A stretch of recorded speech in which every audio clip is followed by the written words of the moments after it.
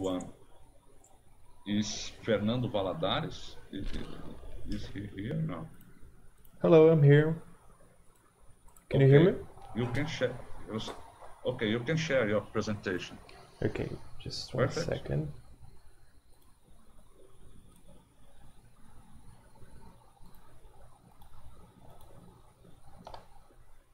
Okay, Well, you can see the here. next talk will be about electronic structure investigations in metal halide perovskites using DFT minus half quasi-particle correction, which will be done by Fernando Valadares at ITA.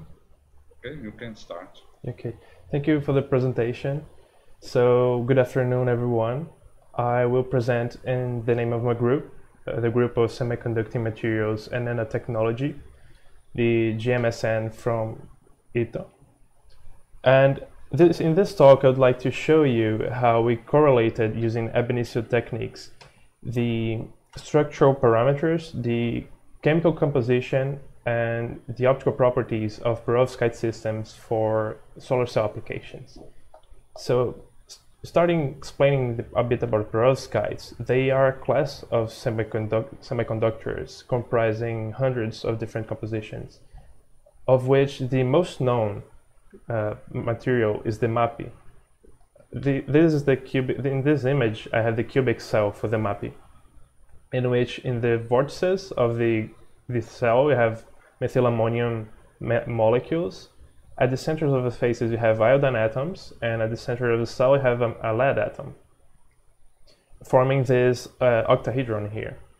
So they are very interesting for uh, solar cells because in the last 11 years, th- those devices, um, their efficiencies increased from 3.8% to 25.5%, which is a level close to silicon technologies, which have been around since, since 1940.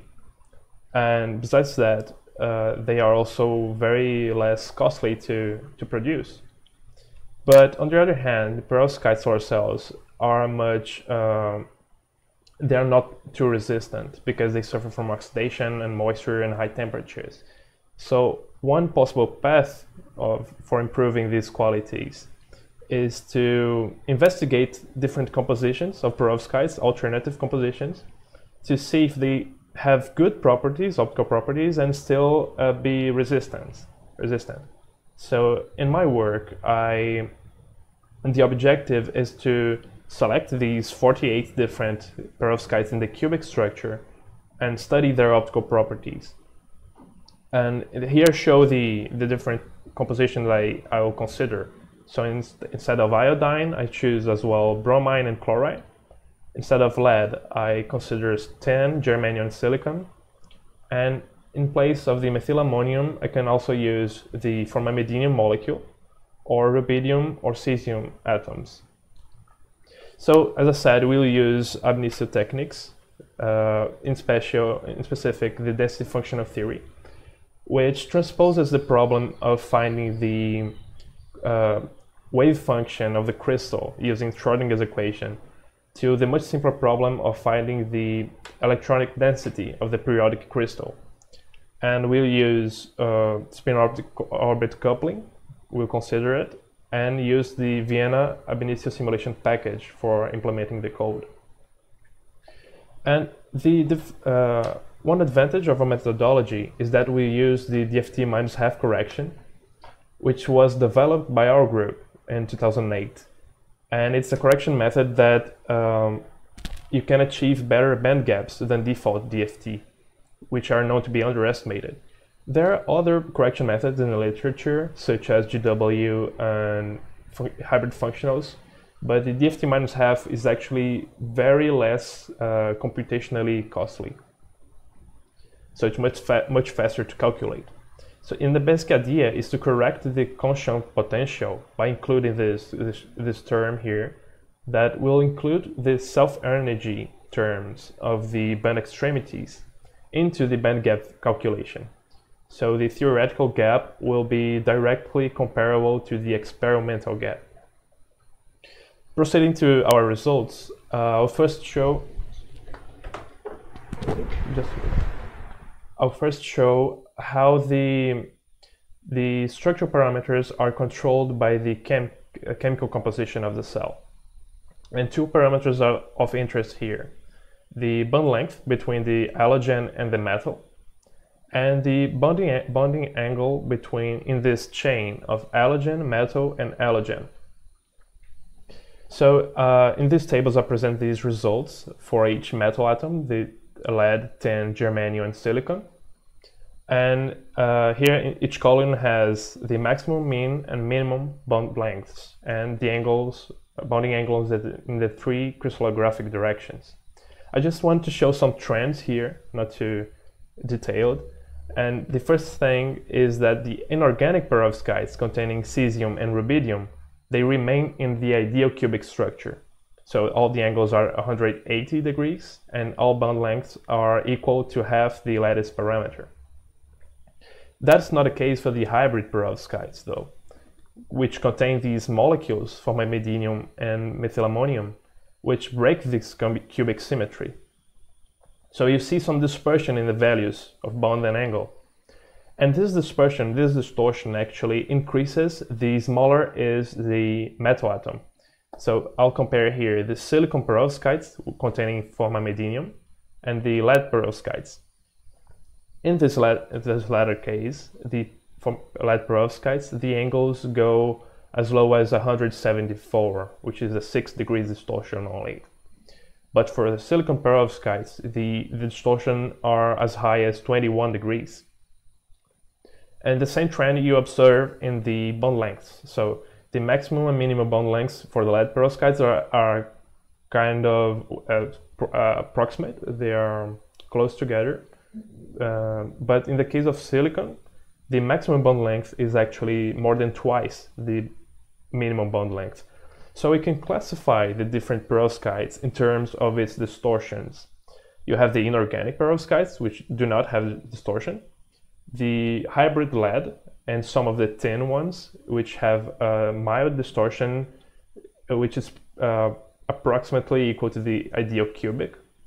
But in the other extremity, you have those two silicon, these two silicon perovskites containing iodine and chlorine and methylammonium, in which the distortion is so great that the halogen, they become further away from one of the silicon and becomes closer to the other silicon. So the octahedron actually breaks, forming these pyramidal structures that we call MX3 segregation.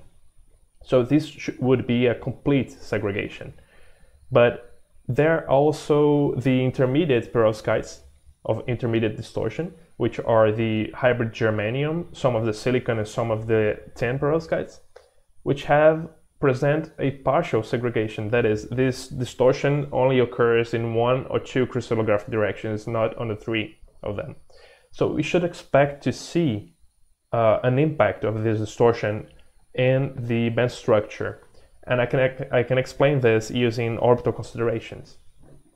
Because the bottom of the conduction band is formed by an hybridization of a p orbital from the halogen and a p orbital from the metal atom in this configuration here you see. So I've represented in this image out of phase lobes as having different uh, fillings. So if it's clear filling, it's uh, in phase with other clear fillings. In this here, you see uh, an, a bonding interaction because they are in phase. So for what we see here is that for each bonding interaction, you have a anti-bonding force of equal magnitude and opposite signs. So in the crystal, you should have a net non-bonding equilibrium. But when you introduce the segregation, you approximate the, the halogens that interact with anti-bonding forces. And this causes the crystal state to increase its energy. So that's what you see here. The band gap opens. So this influences the absorption of the solar cell. Uh, so for a complete segregation, we should observe this increase. And for a partial segregation, we should always observe this increase, but in less, uh, just a bit smaller. So proceeding to the actual electronic calculations with DFT minus half. In this graph, I show in the x-axis the experimental band gap, and in the y-axis the calculated band gap. And the red data points correspond to the corrected band gaps and the blue crosses to the default DFT. So what we see here is that our results, they, act, they correct the well-known underestimation of DFT, becoming very close to, these, uh, to this correspondence line. And we also see that our method has an accuracy in this case equal to GW, which is the state-of-the-art method, despite having much lower cost. And here I show uh, a graph of the maximum conversion efficiency of a single junction solar cell. This is a theoretical result uh, as a function of the band gap of the material. And I, I placed all the band gaps that we found here as red dots. And I found 16 materials in this range of materials that represent an efficiency higher than 30%.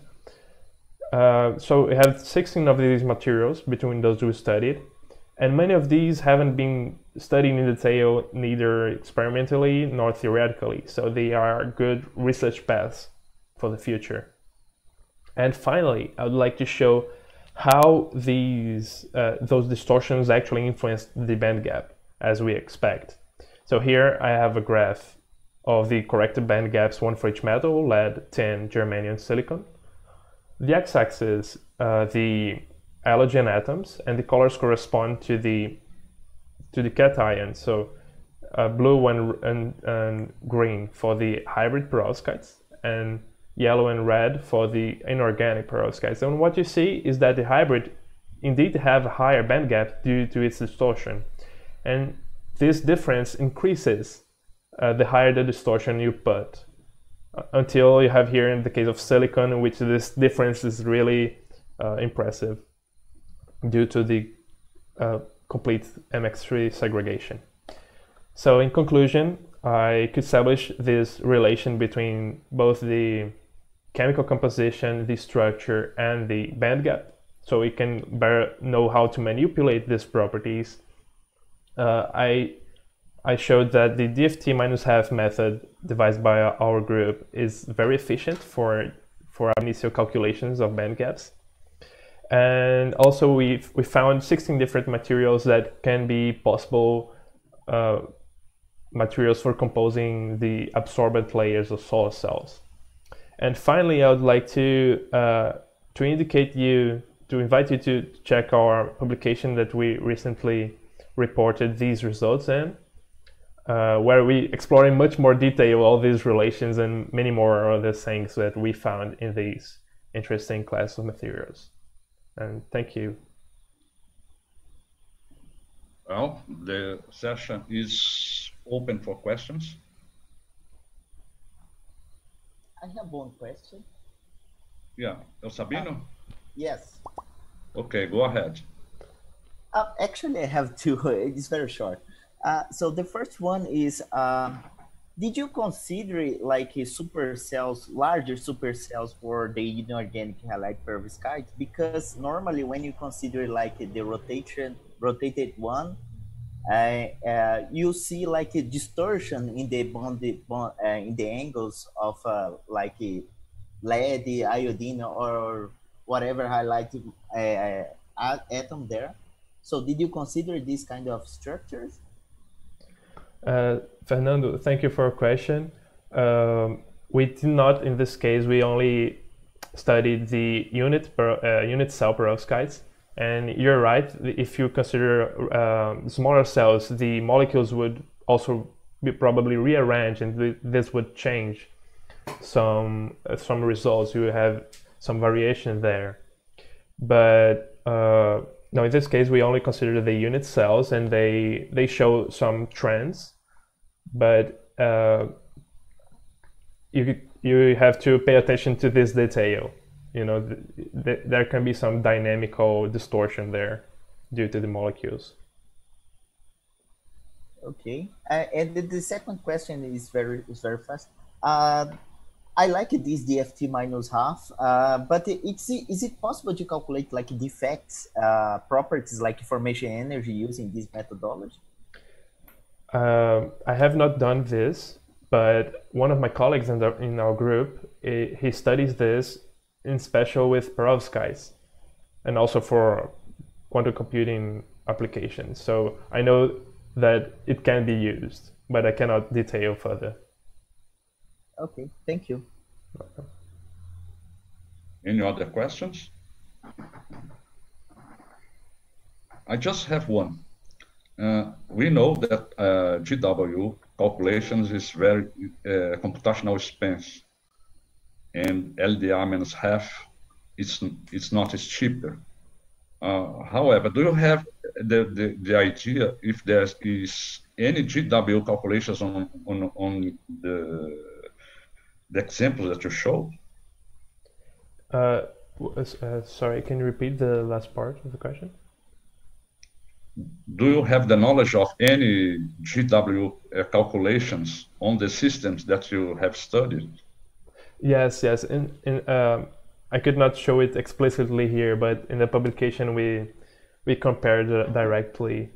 So I I searched theoretical calculations with using GW and compared the accuracy numerically, and it's uh, it's very uh, uh close to each other. DFT minus half GW. Uh-huh. Okay. Is there any other questions? Uh, just a single one about uh, the, the silicon part. If you can turn to 17, slide 17, I, ha- I, I imagine. Is this one? Yeah, yeah. So, so uh, the this uh, for silicon is very different, really very different because mm-hmm. of the of the bonds. Is, is it? It's because of the segregation.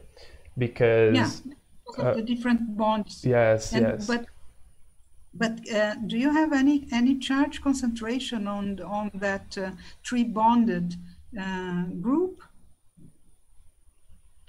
Why is it so so small the gap? That's that's the point. Um, is it because of silicon and it should be because like that anyhow, or is it because of the segregation? There are like uh, many parameters here to evaluate the for the case of the so we have the chemical aspect of the uh, p orbital of the silicon p and s orbitals. Uh, and you have the size of the atom. So as it, it is a smaller atom it actually decreases the band gap. And you can see this in the inorganic perovskites that doesn't have distortion, so you can analyze the chemical aspect. But the the structural aspect you can see better here in the hybrid perovskites, and you have this weird uh, trend with relation, for example, to lead, because you see all this this blue line it has uh, a similar segregation, a partial segregation, but these two data points here and here, these are the two that have a complete segregation. That's why they stand out, you know, because of exactly this effect. The same thing occurs here. That's why you have this crossing, because they, they go from a completely uh, non-segregated to a partial segregation. segregation. That's why you have this crossing. So this should explain these these weird trends. And I guess you you said you mentioned something else I don't remember now. Does this ask uh, answer your question? Well, kind of, yes. Yeah, it's very weird. Oh. It is weird. okay. Yes. but uh, just one thing more. Uh, you should also uh, think why why you have this trend that why doesn't this one with bromine have a higher gap? And mm-hmm. this the other thing you should pay attention as Sabino mentioned before the uh, so these are unit cell calculations. And you maybe if you have uh, bigger calculations you can you uh, bigger cells the distortions would be different. And you would see these having a complete segregation for example. So this uh, uh, these results they they indicate some trends but they are not um, they are not written okay. in stone, let's say. okay. Is there more questions or not? If don't, so we'd like to thank all the speakers of this session. The session is now closed. Thank you very much for the for the attendance. And now we have some time to before the poster section.